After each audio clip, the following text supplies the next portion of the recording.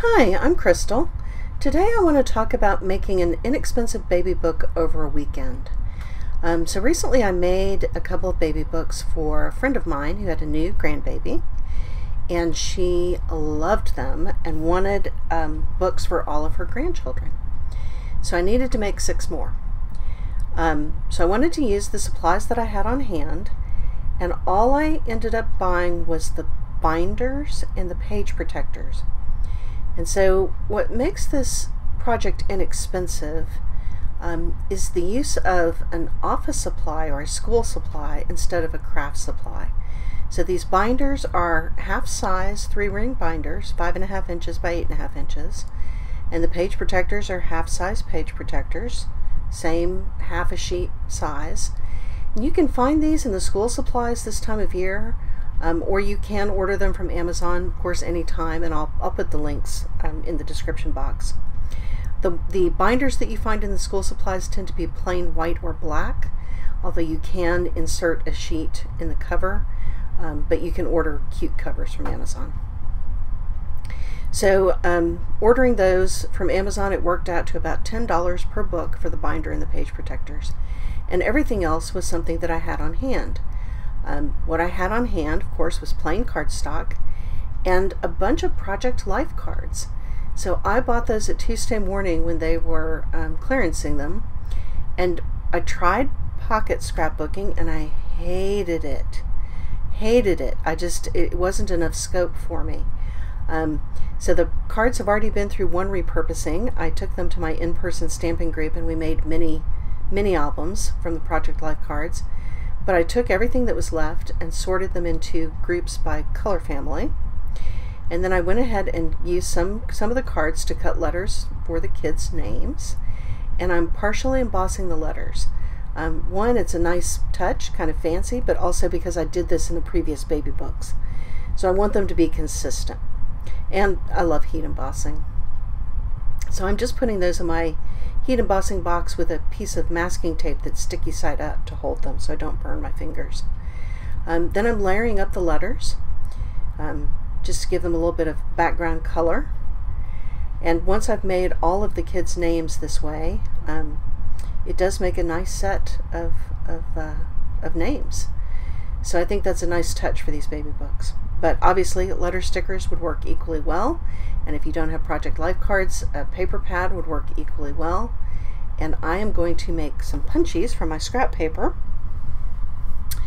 So stickers, obviously an option, but I've got scrap paper, which I just sort into rough groups by color. Um, no organization inside the bin. I just have those three bins according to whether it's warm colors, cool colors, or neutrals. So once I've made all my punchies, I have six bags of punchies for the six books. And then I'm taking my stack of Project Life cards and um, assigning them to the pages. So I'm just flipping through and finding some cards that go together. So at this step, I think would be easier if you were working from a paper pad because you wouldn't be trying to match the colors this way. The paper pad is going to do that work for you. Um, but, you know, I, I think this is a great occasion to use the supplies that you have. And of course, I'm calling these baby books, but um, the, the remaining grandchildren that I'm doing books for are, are no longer babies. So these are kids ranging in age from, I think, 6 to 19. So I am using some stronger colors here than I might use for an infant. So once I've got the um, the stuff all sorted out and the, the initial names made, I've just got these put aside into bags. Um, so that I'm ready to move on to the next step and I've got my bags of punchies for decorating the pages. And so now that I've got all this ready it's time to move on to assembly. So when I did this I did group my punches by type so that I had stars flowers butterflies and hearts because I like to put some repetition. And this ended up taking about two hours and one tape runner per book so I used tape runner for the Project Life cards and I used glue for the punches and die cuts. Um, it, it didn't take long since I'd done a bunch of preparation, but two hours a book.